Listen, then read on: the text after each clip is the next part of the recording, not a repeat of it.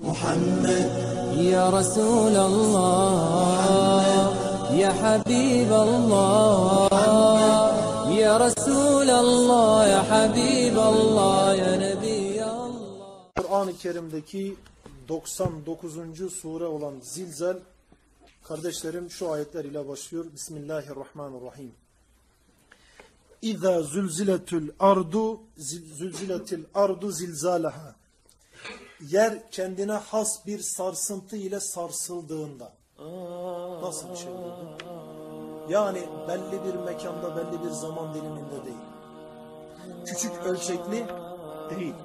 Yani sadece İstanbul'u, İstanbul içerisinden de Bayrampaşa'ya has bir sarsıntı değil.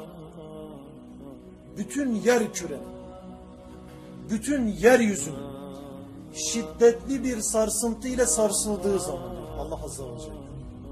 Yani bunu şuna benzetebiliriz Müslümanlar. Hani bir çuval düşünün. Yarısına kadar bir şey doldurduğunuzu altını üstüne getirirken nasıl çalkalarız? Evet yerin ve göğün bu şekilde çalkalandı.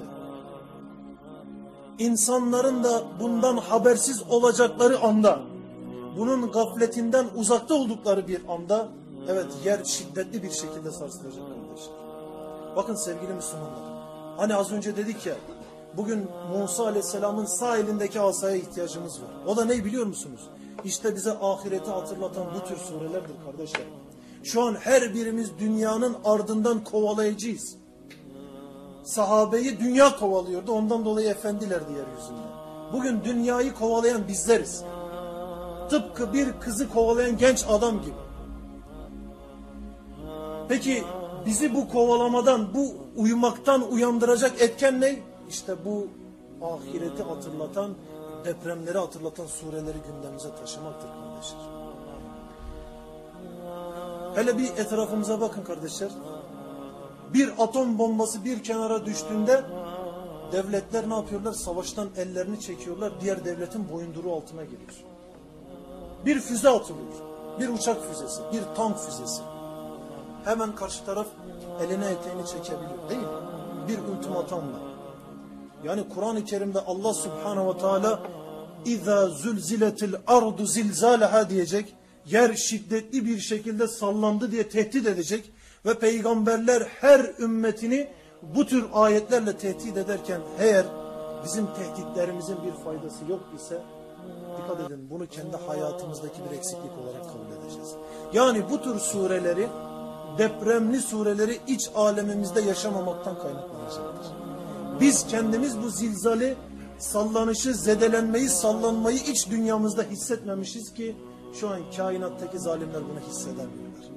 Dünyaya meyleden mücrimler bunu fark edemiyorlar. Bunu hesaplarına, gündemlerine alamıyorlar. Peki nasıl bir sallantı? Bu sallantıyı öğrenmek isteyenler nereye gitsin? Haç suresi 1 ve 2. ayetlere gitsin Müslümanlar. Allah subhanahu ve teala müminlere seslenmiyor. Bakın ey insanlar Rabbinizden korunun, sakının diyor Allah subhanahu teala. Hac suresinin birinci ayetinde. Allah'tan sakının. İnsanlara sesleniyor Allah. Ey müminler takva sahibi olun demiyor Allah. Ey insanlar Allah'tan sakının. Neden?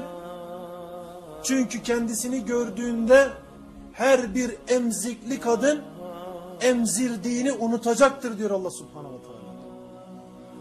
Yani yer öyle bir şiddetli sallanacak ki öyle büyük bir deprem yaşanacak ki bütün alemde anne çocuğunu beşiğinde unutacak. Var mı böyle bir şey sizce?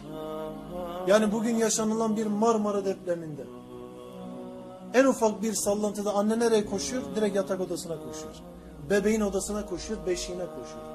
Ama bakın demek ki o kadar şiddetli bir sarsıntı yaşanacak ki anne emzirdiği çocuğunu yatak odasında unutacak Müslümanlar.